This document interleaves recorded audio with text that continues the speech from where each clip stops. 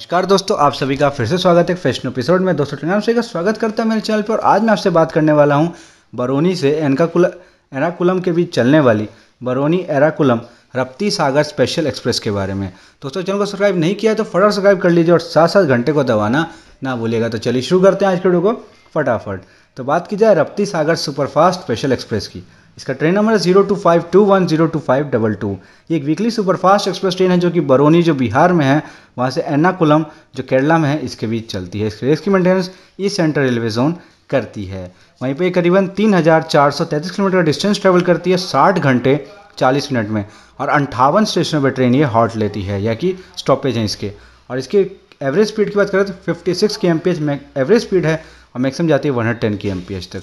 इसमें अभी भी old I C F rakes के कोचेज यूज़ होते हैं, जिसमें से दो सेकंड एसी का कोच तीन थर्ड एसी तेरह स्लीपर क्लास पेंटर सुविधा दी गई है साथ साथ तीन जनरल रिज़र्व कोचेज और दो एसआर कोच का यूज़ किया जाता है। लोकोमोटिव की बात की जाए तो बरौनी से एमजीआर चेन्नई सेंट्रल तक आरपीएम या इरोड सॉरी इटारसी शेड का सेवन का लोको यूज़ किया जाता है, और एमजीआर सेंट्रल से एनाकुलम तक आरपीएम या अजनी शेड का वेब फोर का लोको यूज़ किया जाता है। टाइमिंग्स खास करें तो zero two five two one जो है बरौनी से हर मंडे के दिन दस बज के इक्यावन मिनट पर ट्रेन चलती है रात में और करीबन चौथे दिन सुबह साढ़े ग्यारह बजे आप एनाकुलम जंक्शन पहुँच जाएँगे।